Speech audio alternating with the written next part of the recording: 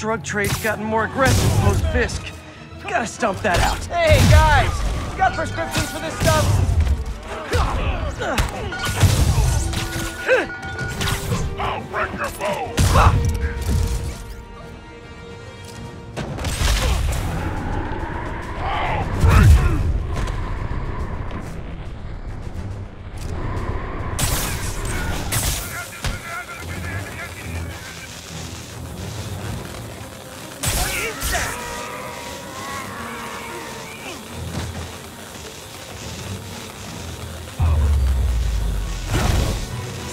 Drugs are maybe my most disliked criminal activity.